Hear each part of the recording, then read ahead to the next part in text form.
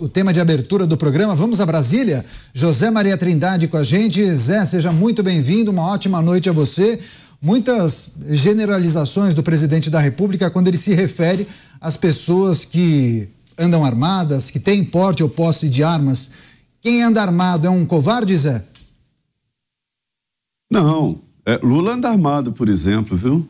Muito boa noite, Daniel. Seja bem-vindo, Abduch. Boa noite, Pavinato. Boa noite, Mota. E uma boa noite especial a você que sempre está aqui acompanhando os pingos nos is.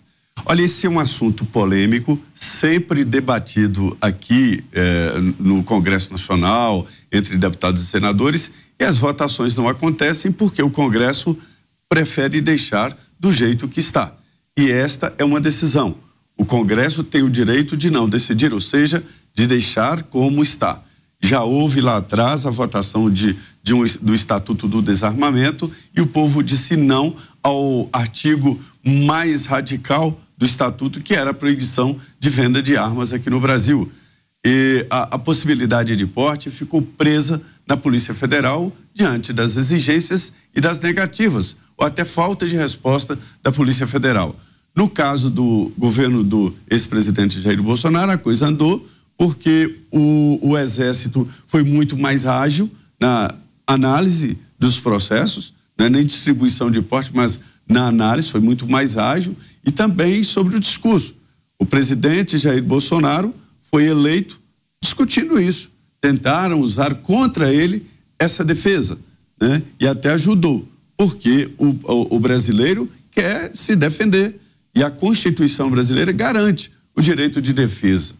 Quando a Constituição garante o direito de defesa, não diz que tem que ser com as unhas, como se fosse gato, ou com os dentes, como se fosse cachorro. Se defende com armas, porque os bandidos vêm na sua casa com armas. Tá certo. Houve um certo exagero ali na criação dos, dos CACs, né, que são os clubes de tiro, é, a, a, de, é, de, tiro, de, de, de é, é, pessoas que fazem coleção, enfim a gente vê que não são caçadores, nem colecionadores e nem atiradores, mas quer se defender, entra num, num clube desse. Mas lá já existe o treinamento, o que é muito importante. Essa fala do presidente Lula, ela mostra primeiro um certo preconceito, né? Preconceito de pessoas que têm uma ideia, que têm uma ideia de cumprir a Constituição e usar o seu direito de se defender, né? Não existe é, o, o, o, bandido legalizado. Ainda no Brasil, não inventaram isso. O bandido, o, o, o assassino, o ladrão que anda armado, ele é ilegal. Ele não tem porte de armas. Ele não tem arma com inscrição. Essa é a realidade. E é isso que o Mota falou. Quando se sabe que uma casa está desguarnecida, fica muito mais fácil e é sim incentivo ao crime. Eu não, não, gosto nem de entrar nessa área ideológica, porque aqui o debate é muito forte de que uma ditadura se instala e o primeiro passo é desarmar a população. Eu até admito é, essa história aí de, de, de, um discurso romântico. Ah, olha, a arma não serve para nada, não sei matar. A arma não descasca batata, não corta cana, não, não, não faz nada. A arma mata. É, é uma realidade. Se pudéssemos, tivéssemos uma, uma possibilidade de acabar com as armas de um país ou do mundo, a Inglaterra é próximo disso. Seria muito bom.